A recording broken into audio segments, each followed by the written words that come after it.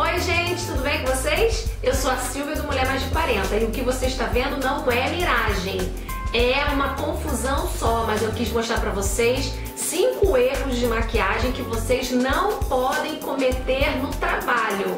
Ó, ó, vou mostrar no vídeo, continua assistindo para vocês saberem quais são os erros e não cometerem no trabalho.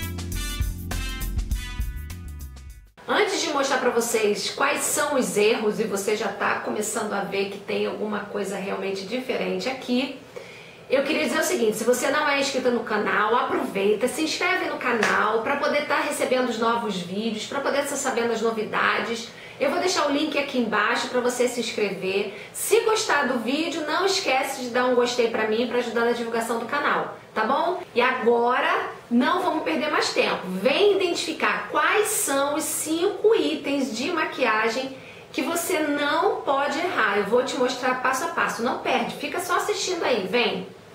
Antes de eu entrar efetivamente no mundo da beleza, como maquiadora, designer de sobrancelhas e tal, eu trabalhei durante 15 anos na área financeira. E durante esse período que eu trabalhei, é, eu adquiri muitas, muita experiência é, no trato com funcionários, com colegas de trabalho. Na última empresa que eu trabalhei, eu exerci o cargo de gestão.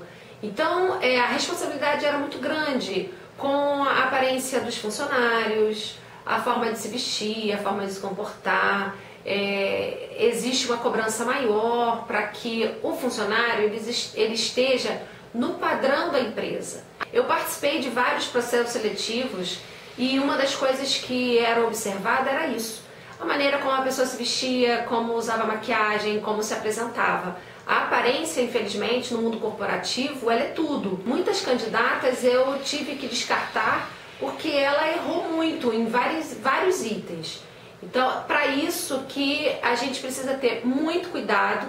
E aí eu vou fazer isso. Vou mostrar para vocês esses cinco erros que você não deve cometer no trabalho com relação à maquiagem e vou mostrar para vocês a diferença. A gente vai fazer um comparativo para saber como ficaria se você errasse na mão, se você não tivesse essa noção e ou melhor, se você quisesse maquiar desse jeito, você gosta, você curte, mas você tem que pensar que o ambiente de trabalho não permite tudo que a gente gosta.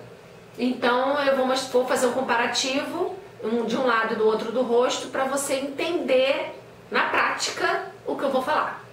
O primeiro item que eu vou mostrar para vocês é a sombra. Então, esse olho aqui, eu trabalhei um olho, uma sombra colorida. No caso, eu escolhi o verde porque eu tô com uma blusa verde. Então, olha, o olhar de quem está com uma sombra verde é completamente diferente do olhar de uma pessoa que está com uma sombra básica. Então, o que, que chama mais atenção? Você olhar uma pessoa que está com uma sombra colorida do que está com uma sombra básica. Então eu digo o seguinte: muito cuidado com sombra colorida. Cuidado com as cores. Isso não quer dizer que você não pode usar colorida, não pode usar uma cor, não é isso. Mas é porque fica mais pesado. Então evita usar as cores e opte por cores mais sóbrias ou mais clássicas, mais básicas. E aí, se vai sair, vai para um happy hour ou alguma coisa assim, terminou o expediente, bota lá na sua necessaire aquela, aquela maquiagem que você quer mudar, quer fazer algo diferente.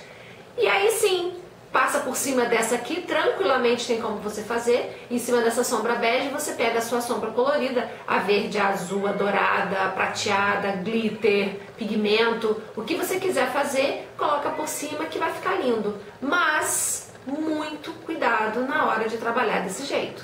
Outro item que eu vou falar vai ser o gatinho. Olha esse gatinho para você ir trabalhar. Olha bem, olha o impacto que ele dá. Ele é, fica bonito? Fica super bonito. Fica estiloso, deixa o olhar, deixa todo faz toda uma diferença. O nosso segundo item de erro que você não deve cometer é cuidado com o gatinho. Não é o miau, pelinho, gostosinho, fofinho. Mas é o gatinho que você pode utilizar e acabar estragando o seu visual de uma maneira geral. Você imagina você ir para uma entrevista de emprego com um gatinho desse, desse jeito, né? Todo estiloso, tá ótimo, mas não combina. Da mesma forma que você vai sentar para conversar com o seu chefe sobre um determinado uma determinada planilha, um determinado levantamento que ele fez, você chega com esse gatinho, né? Ele não sabe se olha para a planilha ou se olha esse risco preto, essa coisa preta que está no teu olho. E se for uma chefe, ela vai analisar para ver se você fez o gatinho direitinho, se o gatinho está bem feito, se não está bem feito, que talvez está grosso demais, poderia ser um pouco mais fino, poderia ser um pouco mais pontudo. Enfim, que você exagerou, tá? Então, vai usar um delineador? Eu acho que é super válido usar o delineador. Ele fica muito lindo, o olho faz um acabamento maravilhoso. Então, faz um delineado curto. Não precisa ser aquela coisa, já deixa ele pronto. Vai sair com a galera, vai sair com a turma, o pessoal vai tomar um chopp e tal, tal, tal. Pega o seu delineador e puxa o gatinho e faz a festa. Mas no trabalho é melhor você ter um algo assim bem mais básico, né? Agora eu vou mostrar para vocês um outro item que tá assim, super na moda, todo mundo quer fazer. É o raio do contorno. Por quê? Porque as Kardashians usam e virou moda. E o povo desenha e risca o rosto e bota lanha, tudo. Ok, mas cuidado com o que você vai fazer. Uma coisa é você fazer um contorno bem sutil. Então eu fiz um contorno aqui, com certeza o que você está vendo aí é 30% a menos do que eu fiz aqui. Então, lembre-se que você vai estar no ambiente de trabalho extremamente iluminado, que você vai estar ao vivo e a cores, né, com todos os seus colegas de trabalho, com mais todos os seus gestores. Então, tudo fica mais intenso. Ou seja, os 30% que você não está vendo em quantidade está, na verdade, aqui. Então, olha, eu fiz aqui um contorno levemente, fiz um leve contorno nessa parte aqui, aqui também levemente e pouca coisa no nariz. Agora, imagina esse tipo de contorno para você ir trabalhar. Então, olha, ele tá bem mais marcado aqui e você consegue ver que na raiz do meu cabelo, essa parte aqui, tá meio que morena, né? Então eu tô com o rosto bem mais marcado aqui. Então, se você é ao vivo vai ver que existe uma quantidade de produto que escurece o meu rosto. Então pensa comigo, o contorno ele é utilizado para dar forma ao seu rosto. Quando você passa base, quando você passa o corretivo, você tira toda a parte uniforme de sombra e luz que o seu rosto tem. E o contorno veio para quê? Para desenhar. Se o seu rosto tem um desenho diferente do oval, que foi padronizado como sendo um rosto mais fácil de combinar com tudo, você pode fazer contornos para suavizar os pontos que estão mais fora do oval. Então, cuidado na hora de você fazer essa opção. Não é porque as Kardashian usam que você vai usar, principalmente no ambiente de trabalho. Então tem, pode usar o contorno? Claro que pode. Ele fica bonito, ele deixa seu, seu rosto desenhado de uma forma mais angular, fica bom. Só que você tem que ter cuidado para não exagerar no seu contorno. Mais uma vez digo para você que faça a opção de contornar o seu rosto marcado quando você for sair. Quando você for sair com os amigos, quando você estiver indo no happy hour, nada de utilizar uma quantidade de produto assim durante o dia, durante um ambiente muito claro, sem esse propósito, um ambiente que não é para isso e acabar exagerando no visual. E aí todo mundo fala de iluminador. O iluminador, ele é muito bom para quando você sai à noite ou quando você vai tirar foto, fazer fotografia. Então você tem que ter muito cuidado com o tom do iluminador, o tipo de iluminador para não ficar ruim. Para quem tem pele clara, o ideal é que você escolha um tom perolado. Então esse aqui que eu utilizei, se você, eu vou chegar mais perto para ver se vocês conseguem ver.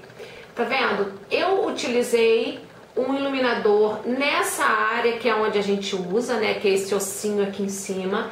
um pouco nessa área aqui, né, da, da, sobre, em cima da sobrancelha, você também pode colocar um pouquinho. É, e botei aqui nesse, nesse canto do lado de cá, né, pra gente fazer o rosto do lado de cá, levemente no queixo e levemente próximo ao arco do cupido, mas não deu pra fazer muito bem, porque eu tô fazendo o contraponto. Para que serve o iluminador? Se você estivesse andando com um holofote de cima para baixo iluminando o seu rosto. A hora que bate uma luz, ele aumenta a luminosidade dos pontos altos do seu rosto. Então aqui, aqui, aqui são os pontos altos, é como se tivesse uma luz de cima para baixo. Agora, você tem a pele oleosa, cuidado para não usar um iluminador em, em creme. Por quê? Porque ele vai ficar oleoso, vai ficar gorduroso. A impressão que vai dar é que não existe uma iluminação, existe uma gordura localizada ali. Faça opção por um iluminador em pó.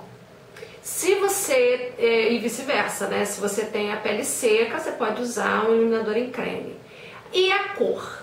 Eu aqui utilizei um iluminador dourado. Por quê? Porque muita gente acha que fica lindo, né? Eu coloco um iluminador dourado e vai dar um, um, um glow bonito, vai dar...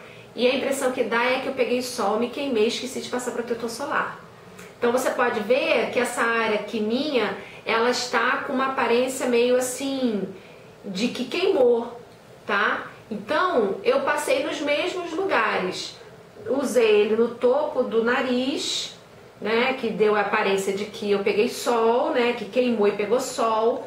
Passei ele aqui, uma parte do arco, pouca coisa, e também nessa parte.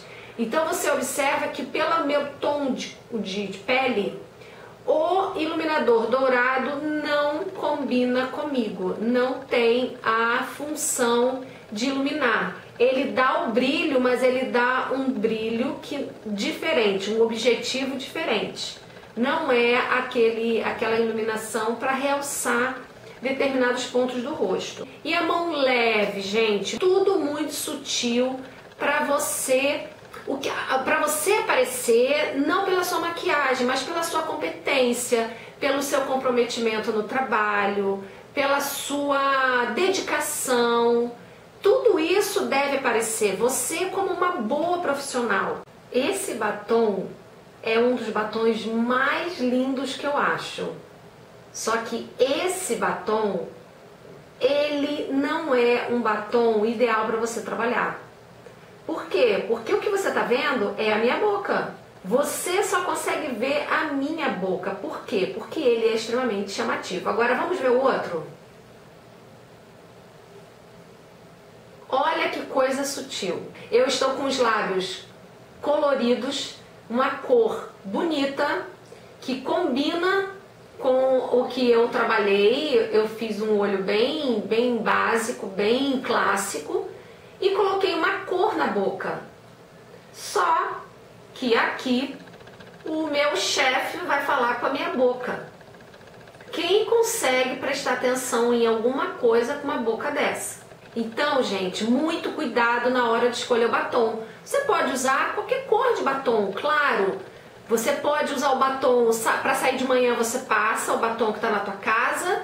Quando você chega na hora do almoço, você vai lá na gaveta do seu trabalho, passa o batom e na hora que você vai sair, eu quero colocar um batom mais forte, mais poderoso, você pode colocar um outro e sair. Agora, muito cuidado na hora de você escolher um batom assim tão forte, porque é um batom que acaba marcando muito. Qual foi o objetivo de eu mostrar tudo isso para vocês?